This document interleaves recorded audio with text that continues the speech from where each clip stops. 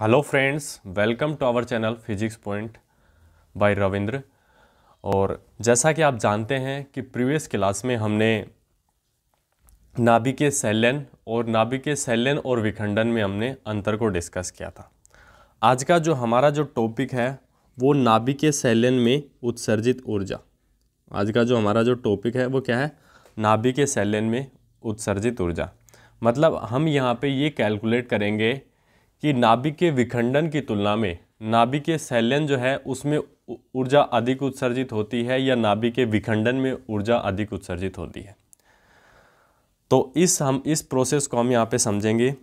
तो देखो deuterium one H two देखो ड्यूटीरियम वन एच टू के दो नाभिक ड्यूटीरियम वन एच टू के दो नाभिक निम्न प्रकार सैनलित होकर, निम्न प्रकार सैनलित होकर एक ट्राइटियम का नाभिक बनाते हैं।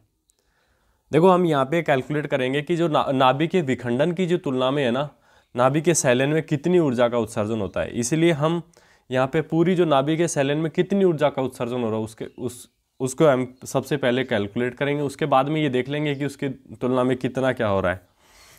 तो देखो हमने यहाँ पे बताया कि ड्यूटीरियम वन एस टू के दो नाभिक जो हैं वो सैनलित होकर क्या करते हैं? एक ट्राइटियम का नाभिक बनाते हैं। तो देखो ये एक ड्यूटीरियम है। और ये भी एक ड्यूटीरियम है वन एच टू अभी एक ट्राइटियम का नाभिक बनाते हैं। प्लस एक हाइड्रोजन का नाभिक भी यहाँ पे रहता है। प्लस चार मेगा इलेक्ट्रॉन वोल्ट जो है एनर्जी का यहाँ पे उत्सर्जन होता है। मतलब दो ड्यूटीरियम के नाभिक जब संलित होते हैं तो कितनी एनर्जी का उत्सर्जन होता है? चार मेगा इलेक्ट्रॉन वोल्ट अब देखो ट्राइटियम ये जो ट्राइटियम बना ना यहाँ यहाँ पे, ये जो ट्राइटियम बना है। ट्राइटियम नाभिक, पुनः ड्यूटीरियम ट्राइटियम जो नाभिक है पुनः ड्यूटीरियम नाभिक से सैनलित होकर क्या बनाएगा? Two H E four. मतलब हीलियम का नाभिक क्या बनाता है? जो ट्राइटियम जो नाभिक है, वो क्या होगा? पुनः सैनलित होगा किसके साथ? ड्यूटीरियम के साथ। और क्या बनाएगा? हीलियम का नाभिक बनाएगा। मतलब हमने सबसे पहले दो दो ड्यूटीरियम के नाभिक लिए थे और अब एक, दो ड्यूटीरियम के नाभिक एक ट्राइटियम को बना रहे हैं। और फिर एक ट्राइटियम का नाभिक है। पुनः किसके साथ सैनलित होगा? ड्यूटीरियम के साथ सैनलित होगा। और क्या बनाएगा? Two H E four, helium का नाभिक बनाएगा। प्लस एक न्यूट्रॉन का यहाँ पे उत्सर्जन होगा। प्लस सत्रह पॉइंट छः मेगा इलेक्ट्रॉन वोल्ट जो है, एनर्जी का यहाँ पे उत्सर्जन होगा। अब देखो ओवरऑल हम कह सकते हैं कि हमने जो है ना, यहाँ पे तीन ड्यूटीरियम के नाभिक लिए हैं। क्योंकि ड्यूटी जो ट्राइटियम बना है, वो भी तो ड्यूटीरियम से ही बना है। तो सबसे पहले तो ये तो इंटरनल प्रोसेस हो गई कि ट्राइटियम कैसे बना है तो तीन जो ड्यूटीरियम जो नाभिक हैं, उनको लेने पर हमें क्या मिलता है? एक तो टू एच ई फोर मिलता है और एक न्यूट्रॉन का उत्सर्जन होता है और देखो ये टोटल एनर्जी इसको हम जोड़ देंगे। तो सत्रह और चार इक्कीस इक्कीस पॉइंट छः मेगा इलेक्ट्रॉन वोल्ट एनर्जी का क्या होता है? उत्सर्जन होता है। तो देखो, हम यहाँ पे इस पूरी इस प्रोसेस को देखो मैथमेटिकली समझने का प्रयास करते हैं। क्या करते हैं? मैथमेटिकली समझने का प्रयास करते हैं। तो देखो, समीकरण एक व दो को क्या करेंगे, हम जोड़ेंगे। समीकरण एक व दो को जोड़ने पर, समीकरण एक व दो को जोड़ने पर। जब आप समीकरण एक को जो, दो को जोड़ोगे तो लेफ़्ट हैंड साइड जो है, इनको और इनको जोड़ेंगे। और राइट हैंड साइड जो है ना, देखो लेफ़्ट हैंड साइड को इनको और इनको जोड़ेंगे राइट हैंड साइड में जो है ये और ये हैं, ये और ये हैं तो इनको जोड़ेंगे। तो लेफ़्ट हैंड साइड को लेफ़्ट हैंड साइड से जोड़ेंगे और राइट हैंड साइड को राइट हैंड साइड से जोड़ेंगे। तो देखो लेफ़्ट हैंड साइड को एक साइड में लिख दिया one S two plus one S two और और देखो, फिर one S two one S two क्या बनाते हैं? ट्राइटियम का एक नाभिक पुनः वन एस टू के ड्यूटीरियम के साथ संलित होगा। तो ये लेफ़्ट हैंड साइड को लेफ़्ट हैंड साइड से और राइट हैंड साइड साइड को राइट हैंड साइड से हमने यहाँ पे ऐड किया है। तो जब हम दोनों को ऐड करेंगे तो देखो ध्यान से देखते हैं। देखो, सबसे पहले ड्यूटीरियम के देखो कितने हो गए। एक, दो और तीन।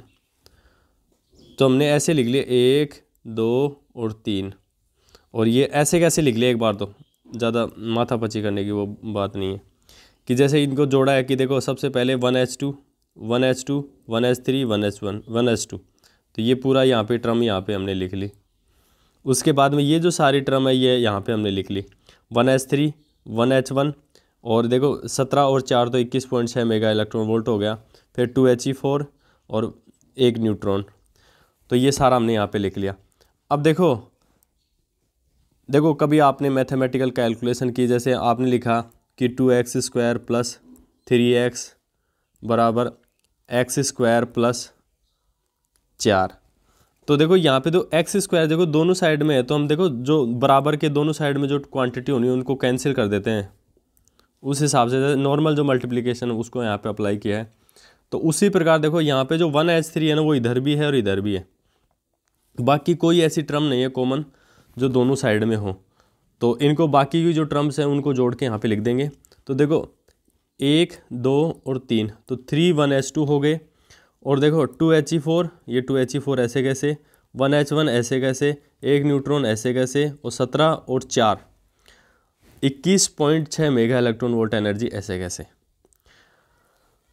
तो देखो, यहाँ पे हम देखो कंक्लूजन जैसा कि हमने लिखा है, देख, यहाँ पे अभी जो प्रोसेस किया, उसी का कंक्लूजन लिखते हैं। अतः स्पष्ट है, क्या स्पष्ट है कि तीन ड्यूटीरियम के नाभिक, तीन ड्यूटीरियम के नाभिक सैनलित होकर सैनलित होकर क्या बनाते हैं? टू एच ई फोर नाभिक का निर्माण करते हैं और इसमें इक्कीस पॉइंट छः मेगा इलेक्ट्रॉन वोल्ट एनर्जी मुफ़्त होती है।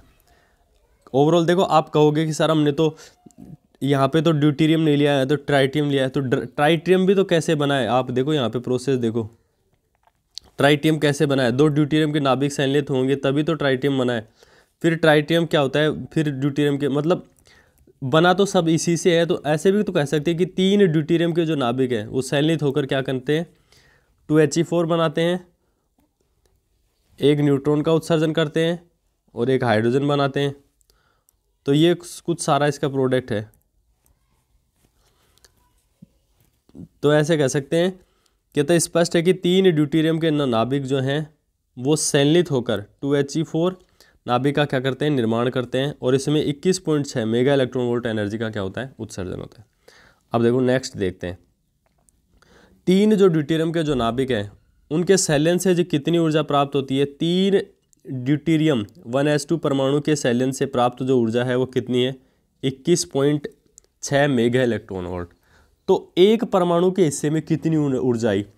तो एक वन एच टू परमाणु से प्राप्त ऊर्जा, एक वन एच टू परमाणु से प्राप्त ऊर्जा कितनी हो जाएगी? इक्कीस पॉइंट छः mega electron volt by three तो हो गए सात पॉइंट दो मेगा इलेक्ट्रॉन वोल्ट। अब देखो, एक परमाणु से कितनी ऊर्जा हमें प्राप्त हो रही है? सात पॉइंट दो मेगा इलेक्ट्रॉन वोल्ट। तो मैं आपसे पूछूँ कि एक मोल ड्यूटीरियम परमाणु की संख्या कितनी होती है? तो वो कितनी? आवगाद्रो संख्या के बराबर होगी। सिक्स पॉइंट ज़ीरो टू गुणा दस की पावर तेईस। तो देखो, एक मोल जो ड्यूटीरियम जो परमाणु होंगे, उनका भार कितना होगा? Zero point zero two K जी होता है। जैसे आपने एक मोल की जब इलेवेंथ क्लास में डेफिनेशन पढ़ोगी तो एक मोल जो होता है, वो कार्बन के zero point zero one two K G के इक्वल होता है। जब हमने ए e में जब मास कैलकुलेट किया था ना, तभी भी वहाँ पे भी इस कैलकुलेशन को किया था। तो द्रव्यमान संख्या से उसका पता चल जाता है कहने का मतलब। तो देखो देखो कार्बन सी सी सिक्स बारह तो इसका एक मोल का द्रव्यमान कितना होता है? Zero point zero one two K G. वैसे ही वन एच टू का क्या हो जाएगा? वन एच टू का। तो zero point zero zero two K G. ऐसा ही तो होगा। तो तो देखो एक मोल वन एस टू परमाणु में व, एक मोल वन एस टू में परमाणु की संख्या कितनी होगी? आवगाद्रो संख्या के बराबर six point zero two three into ten to the power twenty three. अब देखो एक मोल वन एस टू में परमाणु जो है उनका द्रव्यमान कितना होगा? Zero point zero two K जी में परमाणु की संख्या कितनी हो जाएगी? वही क्या हो जाएगी? आवगाद्रो संख्या के बराबर। अब देखो, मैं तो है ना तो देखो, अगर इसको दो के करना पड़े हमें, इसको क्या करना पड़े? दो के करना पड़े। तो दोनों साइड में क्या करेंगे? हम हज़ार से गुणा करें। तो दो के में परमाणुओं की संख्या कितनी हो जाएगी? इसको भी हज़ार से गुणा करेंगे मतलब दस की पावर तीन से। तो दस की पावर ये छब्बीस हो जाएगा। क्या हो जाएगा? दस की पावर छब्बीस हो जाएगा। तो दो के में परमाणुओं की जो संख्या है, वो किसके बराबर होगी? सिक्स पॉइंट ज़ीरो टू गुणा दस की पावर छब्बीस। अब तो देखो, दो के जी ड्यूटीरियम में परमाणुओं की संख्या, दो के जी ड्यूटीरियम में परमाणुओं की संख्या कितनी हो जाएगी? सिक्स पॉइंट ज़ीरो टू गुणा दस की पावर ट्वेंटी सिक्स। तो एक के जी में परमाणुओं की संख्या कितनी हो जाएगी? भाग दे देंगे दो का। तो एक के जी ड्यूटीरियम में परमाणुओं की संख्या कितनी हो जाएगी? Six point zero two into बटे, by two into twenty six, ten to the power twenty six. तो देखो, एक के जी ड्यूटीरियम जो होगा उसमें परमाणुओं की जो संख्या है, वो कितनी आएगी? Three point zero one into ten to the power twenty six तो एक के जी ड्यूटीरियम में परमाणुओं की संख्या कितनी हो गई?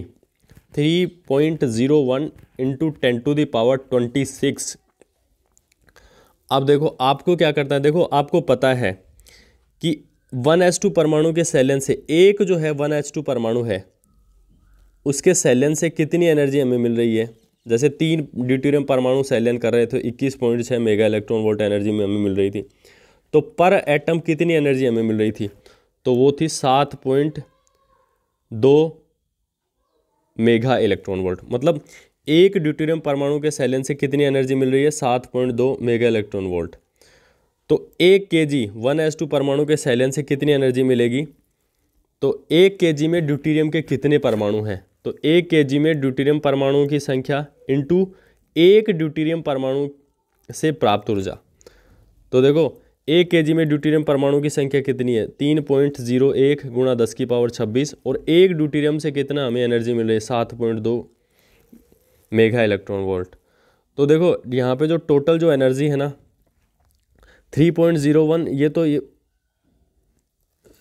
into ten to the power twenty six है तो परमाणुओं की संख्या हो गई एक किलो ड्यूटीरियम में।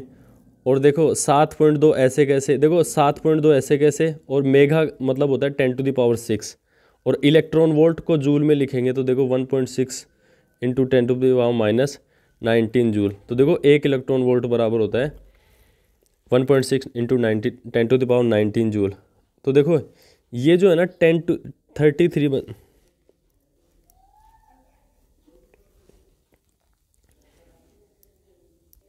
तो देखो, यहाँ पे जो पावर देखते ना देखो, छब्बीस ट्वेंटी सिक्स और सिक्स थर्टी टू हो गया।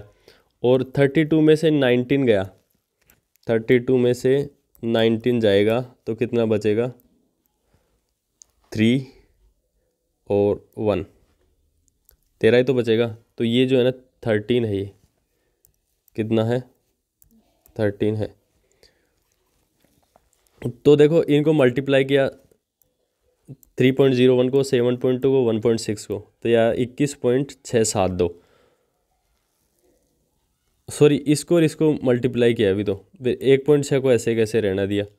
फिर इसको दस की पावर तेरह हो गया। अब एक पॉइंट छः को इससे मल्टीप्लाई करेंगे तो हो जाएगा thirty point, thirty four point five six और ये दस की पावर तेरह, जूल ऐसे कैसे। तो देखो, हम यहाँ पे कंक्लूज़न क्या निकालते हैं? देखो, नाभि के जो विखंडन से जो ना, एक के जी एक के जी हमने लिया था यूरेनियम, बानवे, दो सौ पैंतीस। उसके जो विखंडन से हमें जो ऊर्जा मिलती है ना, वो कितनी मिलती है? आठ पॉइंट दो गुणा दस की पावर तेईस जूल। और एक के जी ड्यूटीरियम के विखंड, सैलियन से हमें कितनी एनर्जी मिल रही है? थ्री चौंतीस point five six into ten to the power थर्ट, thirteen joule. तो देखो ये लगभग इसकी ना चार पॉइंट दो गुणा है। ये लगभग इसकी क्या है? चार पॉइंट दो गुणा है। तो देखो हम कंक्लूजन के रूप में क्या लिख सकते हैं? अतः एक के जी ड्यूटीरियम के सैलियन से प्राप्त, एक के जी ड्यूटीरियम के सैलियन से जो प्राप्त जो ऊर्जा है, एक के जी यूरेनियम बानवे दो सौ पैंतीस के विखंडन से प्राप्त, ऊर्जा की, ऊर्जा से लगभग चार पॉइंट दो गुणा अधिक है। मतलब विखंडन से इतनी एनर्जी मिलती है। तो देखो, हम ऐसे कह सकते हैं कि जो सैलियन जो होता है ना, उसमें एनर्जी ज़्यादा मिलती है। लेकिन हमारा दुर्भाग्य ये कि सैलियन जो होता है, वो लगभग दस की पावर सात केल्विन टेम्परेचर पे ही संभव है, जो पृथ्वी पे जनरेट करना एक बहुत बड़ी समस्या है। अगर सैलियन यहाँ पे संभव हो जाए तो बहुत बड़ी बात हो सकती है। एक बहुत एनर्जी की जो है हमारी जो समस्या है, वो बहुत कुछ हद तक रिजोल्व हो सकती है। जैसा कि आपको पता है कि जितने भी न्यूक्लियर रिएक्टर रिएक्टर होते हैं ना उसमें नाभि के विखंडन होता है और उन्हीं में अगर नाभि के सैल्यन हो तो चार पॉइंट दो गुणा एनर्जी हमें ज़्यादा प्राप्त हो। लेकिन आपको पता है कि हमारे जो न्यूक्लियर रिएक्टर है ना, वो सारे जो हैं, वो कंट्रोल्ड चेन रिएक्शन होती है और जबकि नाभिकीय जो सैलन है ना, इसको भी कंट्रोल नहीं किया जा सकता है। दूसरी चीज़ें, और हमारी जो नब्बे परसेंट तक की जो बिजली की जो आपूर्ति होती है, वो कोयले पर आधारित है। किस पे आधारित है? कोयले पर आधारित है। तो अगर नाभिकीय सैलन हो जाए और वो कंट्रोल्ड हो जाए तो हमारी जो बिजली की जो समस्या है, वो हम बहुत कुछ हद तक एनर्जी की जो प्रॉब्लम उसको हम सोल्व कर सकते हैं। तो आपको एग्ज़ाम में पूछा जा सकता है कि नाभिकीय सैलन की तुलना में नाभिकीय विखंडन में जो ऊर्जा का जो कितनी गुणा ऊर्जा प्राप्त होती है तो आप कहोगे चार पॉइंट दो गुणा जो एनर्जी वो ज़्यादा मिलती है। तो फ्रेंड्स आज के लिए इतना ही। मिलते हैं नेक्स्ट क्लास में। और अभी तक आपने हमारे चैनल को सब्सक्राइब नहीं किया है तो प्लीज़ सब्सक्राइब करें, ताकि हमें भी मोटिवेशन मिले। मिलते हैं नेक्स्ट क्लास में। तब तक जय हिंद, नमस्ते।